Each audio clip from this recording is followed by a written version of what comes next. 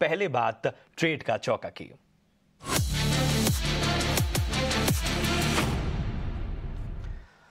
तो हमारे दोनों खास एक्सपर्ट तैयार अपने अपने ट्रेडिंग आइडियाज़ के साथ। सबसे पहले अमोल आपके पास आएँगे। बहुत बहुत स्वागत आपका ईटी नाउ स्वदेश में। जरा बताइए, आज आपकी नज़र कहाँ है? प्रशांत जी, नमस्ते। आई थिंक मुझे विप्रो अच्छा लग रहा है एट करंट लेवल्स 409 के आसपास चल रहा है। स्टॉप लॉस उसका रहेगा 403 का। और पोजिशनल टारगेट है, थोड़ा टाइम ले सकता है। फोर ट्वेंटी और फोर ट्वेंटी फाइव तक जा सकता है। स्टॉक एक कंसोलिडेशन में है पॉजिटिव कंसोलिडेशन दिख रहा है। और अगर यहाँ पे अगर हायर बॉटम फॉर्मेशन है और ये मोमेंटम अगर कैरी होता है तो ये स्टॉक वापस से अपने टॉप की तरफ़ जा सकता है।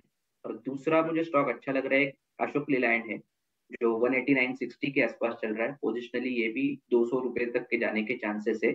स्टॉप लॉस उसका रहेगा 185.20 ब्रेकआउट कंटिन्यूशन टेक्सचर है। स्टॉक पॉजिटिव कंसोलिडेशन में है। तो आई थिंक गोइंग फॉरवर्ड अगर ये पॉजिटिव सेंटिमेंट कंटिन्यू रहता है तो दो सौ रुपए तक के चांसेस स्टॉक में दिख के आ रहे हम्म, ठीक है तो विप्रो अशोक लेलैंड दोनों स्टॉक्स में खरीदारी करने की सलाह।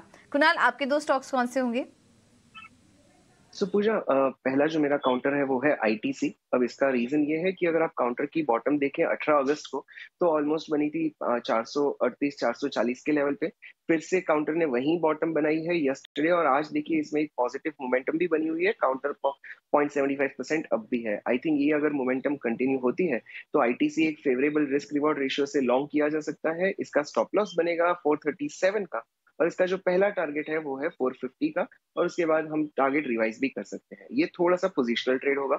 और दूसरा जो काउंटर है वो है न्यू इंडिया अश्योरेंस अब देखिए न्यू इंडिया अश्योरेंस ने जो बहुत ही अच्छी चाल दिखाई थी, वो थी 22 अगस्त को। 22 अगस्त के बाद काउंटर एक साइडवेज कंसोलिडेशन में आ चुका है, और एज ऑफ़ नाउ हमें सपोर्ट के नज़दीक मिल रहा है। सो आई थिंक इस काउंटर में भी बैंक बाइंग की जा सकती है। स्टॉप लॉस बनेगा 125 का, और इसका पहला टारगेट बनेगा 140 का, और इन दोनों काउंटर में जिस तरह जैसे टारगेट अचीव होता है तो हम एक ट्रेलिंग स्टॉप लॉस लगा के पोजीशन कैरी करने की सलाह देंगे। आई थिंक इन दोनों में अच्छी रुझान बन सकती है।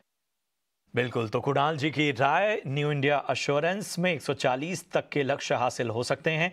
आईटीसी को आपको पोजिशनल टारगेट के लिए रखना है, साढ़े चार सौ तक के लक्ष्य यहाँ पर हासिल हो सकते हैं। चलिए